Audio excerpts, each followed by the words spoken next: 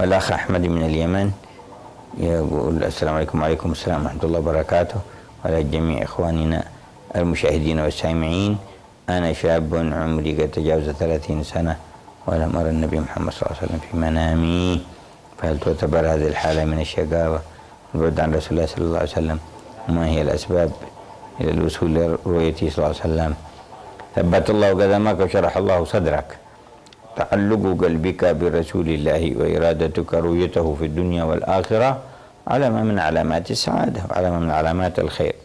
وإن تأخرت عنك الرؤية له آه، صلى الله عليه وسلم فلا يكون ذلك علامة الشقاء ولكن لحكم.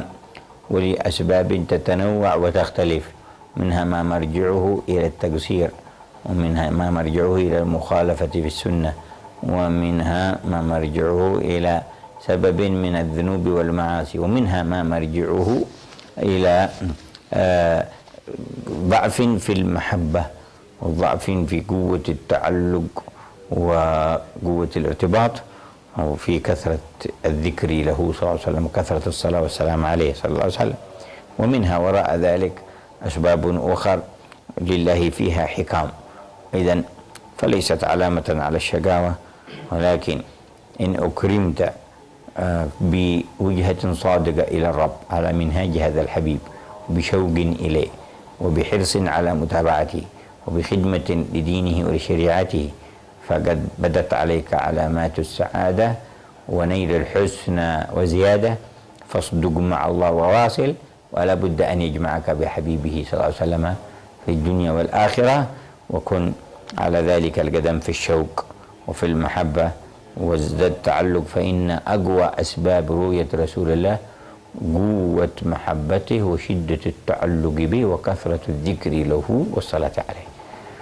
وإذا اقترنت هذه بخدمة دعوته وخدمة أمته كانت أقرب لكشف الحجب ولإمداد الله تعالى وإكرامه العبد برؤية خير الوجود وزين الوجود وسيد أهل الشهود وإمام أهل السجود صاحب المقام المحمود محمد الذي قال لنا كما جاء في صحيح البخاري من رآني فقد رأى الحق من رآني في المنام فقد رآني فإن الشيطان لا يتمثل بي. من رآني في المنام فسيراني في اليقظة. من رآني في المنام فسيراني في اليقظة. صلى الله عليه وعلى آله وصحبه وسلم. فاجتهد في متابعته قوة محبته شدة التعلق به. كثرة الصلاة والسلام عليه ويجعله دائما على بالك تذكره في خيالك في ليلك وفي نهارك. في جميع أطوارك فلا بد بذلك أن ترحم وبرؤيته تكرم.